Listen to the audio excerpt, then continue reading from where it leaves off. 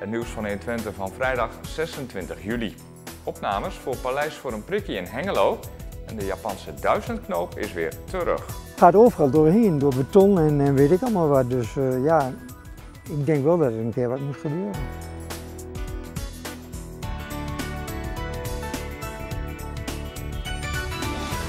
Goedenavond. Opnieuw is het raak in Almelo. Op de Korenmarkt was vlak na middernacht een steekpartij en daarbij is een gewonde gevallen.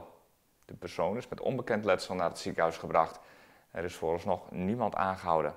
Een nacht eerder was er ook al een steekpartij in Almelo. Toen werd in de wijk De Riet een man in zijn buik gestoken. Ze willen hun vrijheid weer terug.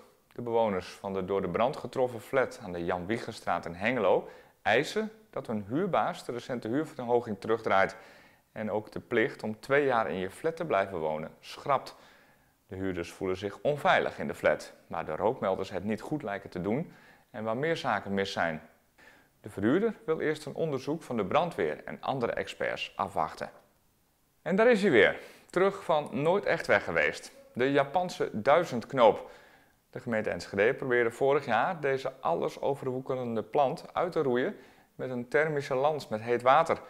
Maar de plant komt op veel plekken met dubbele kracht terug, zoals aan de Weemhofhorst in Enschede.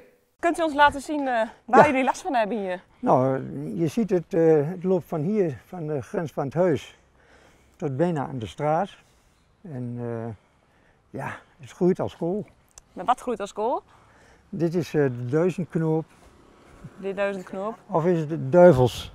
Het, het, is wel een beetje een duivelsknoop inderdaad. Ja, maar waarom noemt u het een duivelsknoop? Nou, omdat het zo snel groeit en kan, het kan dus beschadigingen toebrengen aan huizen. Mm -hmm. In verband met beton, dat schijnt helemaal doorheen te kunnen groeien. En die komt er eigenlijk niet vanaf? En daar kom je er eigenlijk niet vanaf. Nee. Ze hebben dus uh, vorig jaar voor het eerst het heet water uh, proberen te vernietigen. Proberen, want het is teruggekomen zie Ja, en nou veel meer is, vermoed ik, dat ze dus vergeten zijn om uh, het spul weg te halen. Dus ik, ik denk zelf, maar ja goed, ik ben leeg op dat gebied, dat er nog wat geleefd heeft en dat dat toen weer opnieuw is begonnen. Kunt u laten zien hoe groot het vorig jaar was en hoe erg het dit jaar geworden is? Nou, het zal ongeveer een meter of uh, vier zijn geweest, tot daar, vier meter. En, en, nu, en nu zit je tot tegen het huis aan en dat is uh, zeg maar zo'n ruim 10 meter. Ik heb geen idee waar het vandaan komt en dat vind ik ook vreemd. Ze hier een stukje in de, in, de tuin gegooid hebben van de gemeente en dat het van daaruit aan groeit. Want het was er in één keer? Het was er in één keer, ja. ja. Maar het komt ook dicht bij het huis. Bent u niet bang dat het huis een keer beschadigd wordt als het Nou, die kans bestaat, hè, want het gaat overal wordt. doorheen, door beton en, en, weet ik allemaal wat. Dus uh, ja, ik denk wel dat er een keer wat moet gebeuren. Want dit is uw achtertuin. Heeft u hier nou ook nog last van de Japanse duizendknoop? Ja, we hebben hier dus een kleintje en die gaat er vandaag of morgen weer af. Of zo. Ja? Is dat voldoende dan? Of, nou, uh... Ja, nou, er verder onderkomen kun je niet. Of je moet alle stenen weer uit halen. Mm En ja, dat is, uh, nou hier heb je nog een grote. Maar daar groeit wat en daar groeit wat.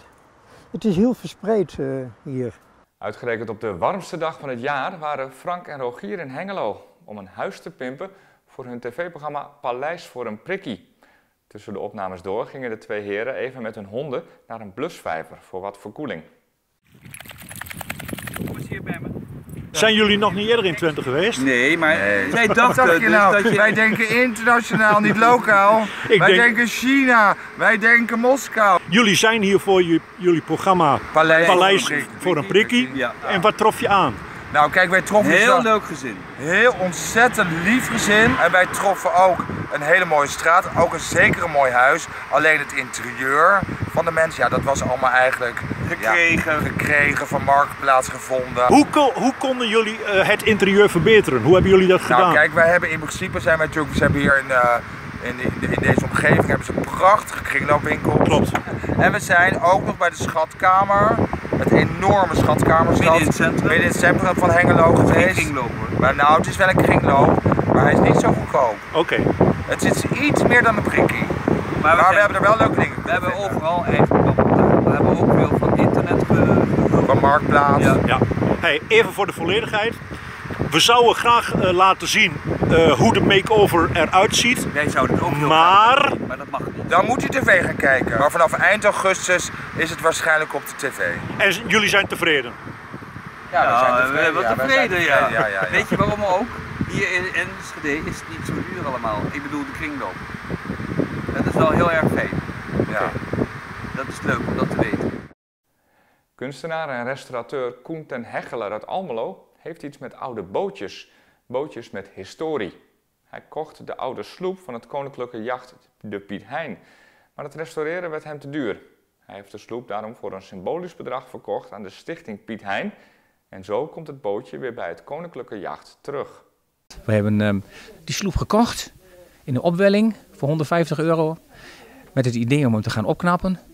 En ehm, nou, dat is na een uh, periode van ongeveer een half jaar schoonmaakwerk is gebleken dat die, uh, dat die ondoenlijk is.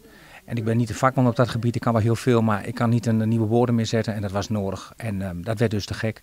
Maar om het ding te redden van de ondergang en om een goede bestemming te geven, hebben we contact opgenomen met de Piet Hein, met de stichting Piet Hein. En die waren ehm, heel enthousiast en die hebben het streepje tegen een symbolisch bedrag overgenomen. En uh, die hebben hem zelf ook al uitbesteed, omdat ze ook de mensen en de kennis niet in huis hebben om het scheepje varen te maken weer. Want uh, de Piet Hein, dat is een bijzondere boot. Uh, waarom is die zo bijzonder? Dat is koninklijk jacht van de Juliana en Bernhard geweest. Dat hebben ze in 1937 gekregen van het volk als huwelijkscadeau. En dat is, uh, ja, dat is een koninklijk jacht. Dat is hartstikke leuk. Er zijn heel veel bekende mensen om mee gevaren. Daar is het koninklijk gezin altijd meer op vakantie geweest. En het leuke van die sloep was, die lag op het sloependek. Zo'n groot jacht dat heeft een sloependek, daar ligt dan een sloep op en er lag ook nog een motorboot op. En dat is dan voor als er problemen ontstaan, dan kunnen ze in ieder geval van boord. Ze hebben een reddingssloep, ken je. Dus daar was het voor. En uh, ze hebben erop leren zeilen. Het was een zeilsloep. Beatrix heeft erop leren zeilen. Ja, het is erg leuk. Het is een heel leuk project geweest. En dan het weer voor het weekend. Het is bijna gedaan met het tropische weer. Morgen wordt het nog wel een graad of 33, maar er komt meer bewolking aan. En de kans op regen wordt ook groter. Vanaf zondag komt de temperatuur niet meer boven de 30 graden uit. Het wordt dan in de middag tussen de 23 en de 26 graden. En tot zover het 120 nieuws voor vandaag. Zometeen op 120, Twente breed en het Taste of Grooves. Een goed weekend.